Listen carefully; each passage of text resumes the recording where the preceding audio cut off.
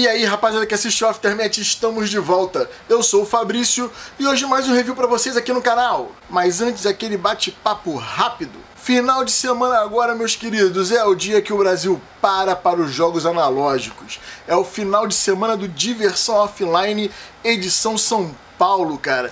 Amigo, se você curte jogos de tabuleiro, RPG, card games e afins, o seu lugar é no Diversão Offline, que fica ali no Centro de Exposições São Luís. No, na descrição do vídeo vai ter link para o evento para você saber tudo certinho. E fica ligado, hoje é segunda-feira, dia 22, a gente vai fazer ações no Instagram porque ainda sobraram ingresso dos sorteios que o Aftermath fez. Algumas pessoas ganharam e não vão poder ir, então elas gentilmente devolver os ingressos para que eu possa fazer uma outra ação.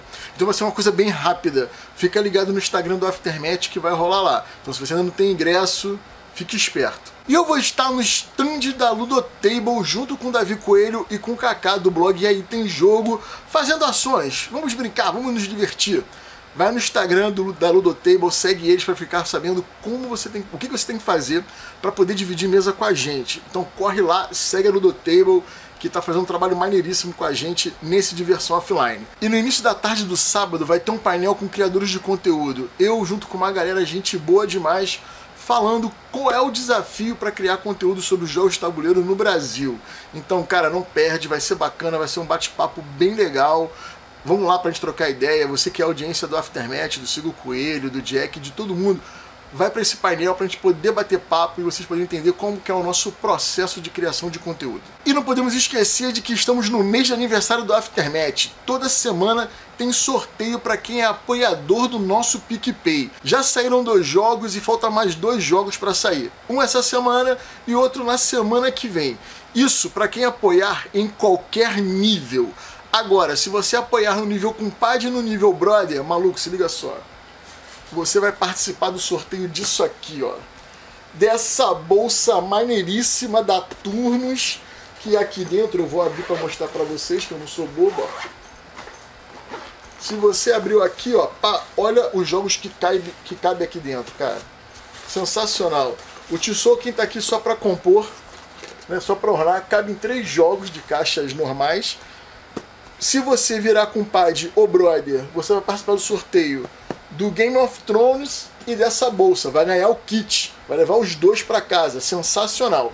E você que não é assinante do Aftermath no PicPay, não vai ficar de fora também. Você vai participar do sorteio do Nória. Como é que você vai fazer isso? Deixa eu só botar aqui embaixo para ficar melhor para explicar.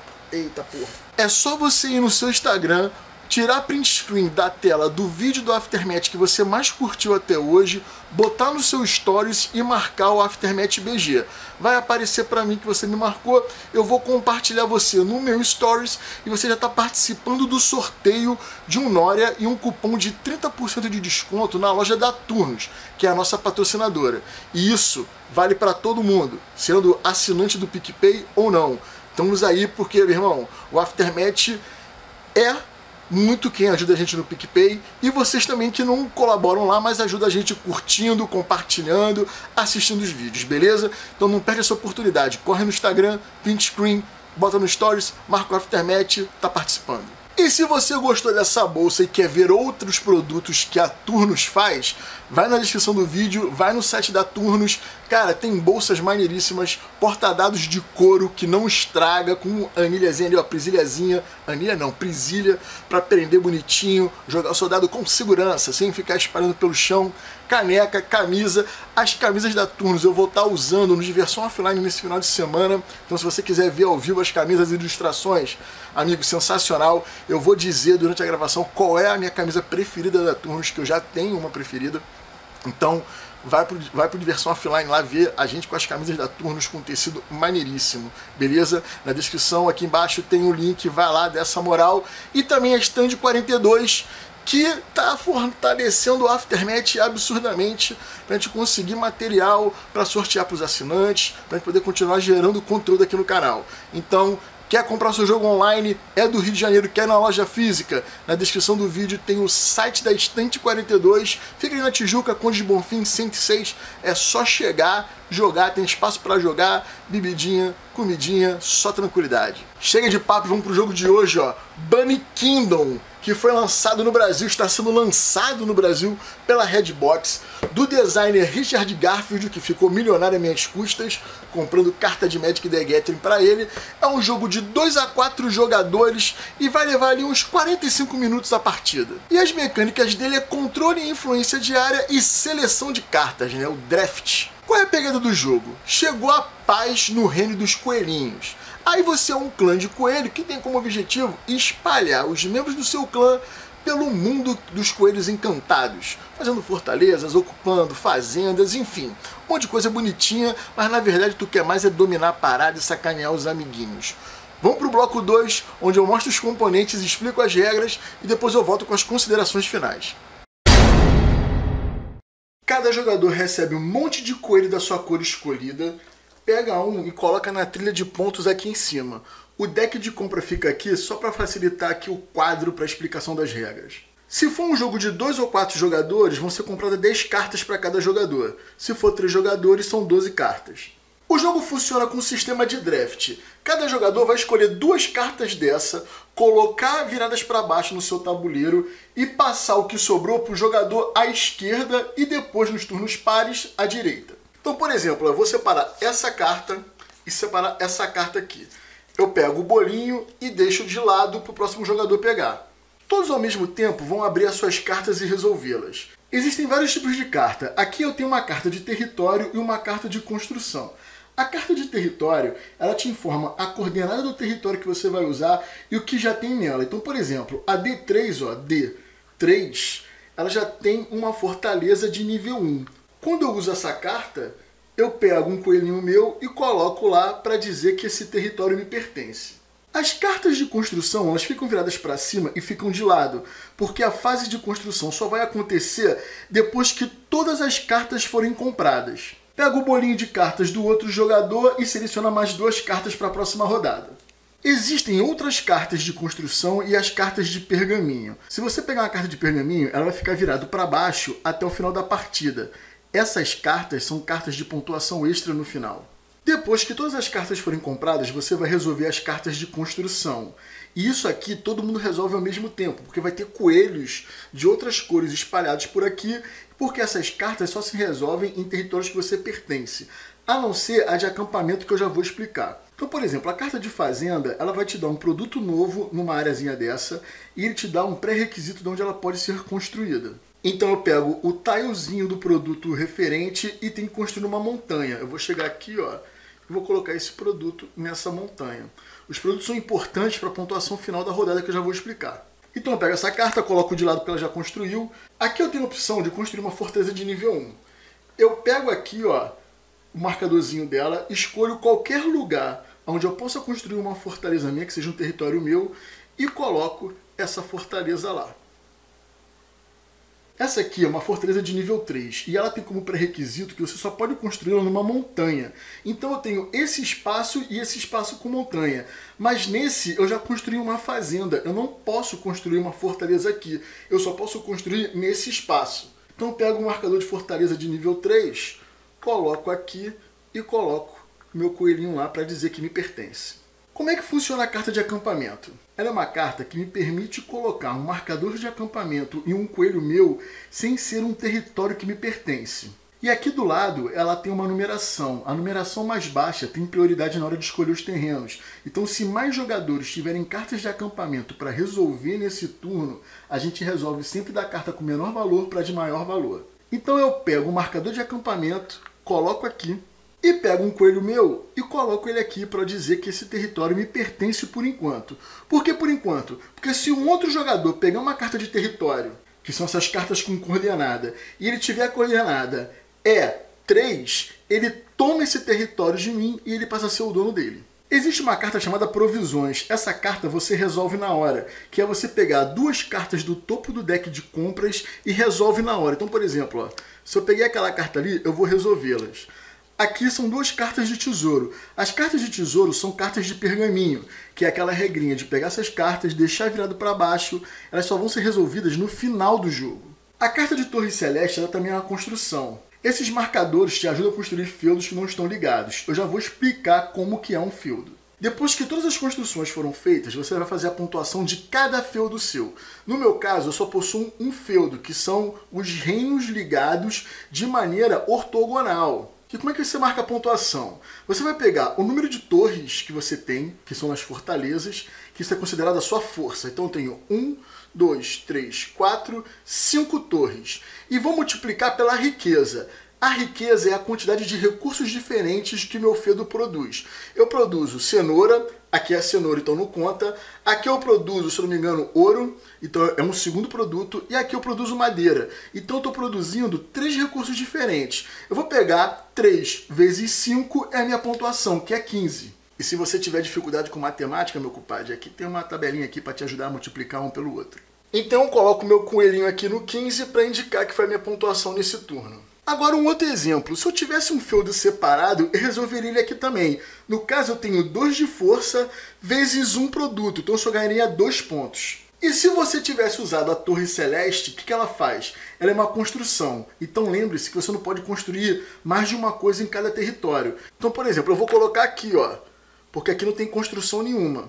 E meu outro marcador eu vou colocar aqui, para indicar que esses dois feudos estão interligados.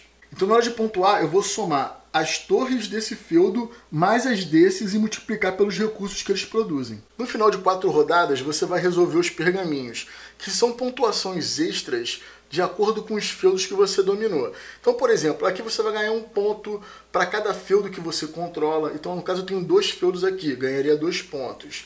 Nessa outra aqui, ó, eu ganharia para cada território na borda do tabuleiro que você controla. Então, nesse caso, eu não ganharia nenhum, porque eu teria que ter territórios na borda para poder pontuar. Aqui são tesouros que eu ganho pontuação. Isso aqui geralmente rola um set collection. Quanto mais tesouros iguais eu tiver, mais pontos eu ganho. E nesse aqui é dois pontos para cada cidade que você controla em feudos que não produzem recursos. Então se você tiver um feudo que não tiver nenhum símbolozinho de recursos, por exemplo, se esse feudo aqui, ó, nesse exemplo eu não tenho nem recurso aqui, nem aqui, nem aqui. Isso aqui é um feudo. Então eu ganharia, eu ganharia dois pontos para cada cidade, no caso dessas duas, nesse feudo sem recurso nenhum. Qual é a minha dica para quem vai jogar Bunny Kingdom pela primeira vez? Por ser um jogo de controle e influência diária, é fundamental que você espalhe logo suas peças pelo tabuleiro para poder ocupar os territórios ali. Só que você tem que tentar fazer uma ponderação, por quê? Não adianta você pegar todo, qualquer, todo e qualquer território, porque se você não conseguir fechar um feudo, você não vai pontuar no final de cada fase, cara, né? de cada rodada, na verdade. Então você tem que ficar muito ligado nisso. Tenta procurar territórios próximos, não precisa ser colado, mas próximos, onde você possa criar um feudo maior durante o desenrolar do jogo. E no início, evita pegar carta de pergaminho, porque como tá ali naquela. Como tá começando, você não sabe qual é o, o, o foco da sua pontuação. Tem carta de pergaminho que vai te dar pontos se você for o cara que tiver mais território de peixe ou mais território de cenoura. Se você pegar essa carta, você está perdendo a oportunidade de pegar uma outra carta melhor de território ou de fortaleza para você poder aumentar sua pontuação no final de cada rodada e ficando com a carta que talvez você não pontue no final. Então a minha dica é essa: tenta se espalhar, mas é que espalhar consciente de forma que você consiga em algum momento linkar isso. Você tem a Torre Celeste que você pode pegar mais para frente para poder juntar feudos que estejam muito distantes um do outro, mas não vai muito nessa não. Tenta pegar cartas de território, tenta consolidar sua posição para depois fortalecer com fortalezas para poder aumentar mais a pontuação, fazer as fazendas, fazer a construção. Não esquece, isso é uma coisa que muita gente esquece, é muita gente dá mole quando vai jogar. A fase de construção é só depois que termina o draft. Então vai tranquilo, comprando, separa as cartas de construção, depois você vai construir todo mundo. E o que, que, eu achei do jogo? Para começar, minha nota é 8.2. Isso é muito curioso, por quê? A primeira vez que eu joguei Bunny Kingdom foi lá em 2017, quando o Davi Coelho trouxe ele da Gen Con. E eu vou te ser bem sincero, eu não curti o jogo muito assim, tanto que a minha pontuação nele no Ludopedia até agora era 7,5. Eu tinha achado ele um jogo ok, mas que dificilmente eu pediria para jogá-lo.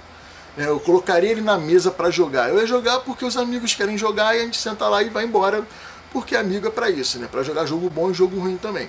Mas cara, quando eu joguei quando, quando eu, eu, conversei mais sobre o Bunny Kindle, depois que eu joguei a primeira vez com as pessoas, eu comecei a gostar um pouco mais dele. Era bem interessante esse lance do draft, de você tem que saber se virar com as cartas que vieram para sua mão, pegar cartas para não beneficiar tanto o amiguinho que vai receber do lado ou da esquerda ou da direita.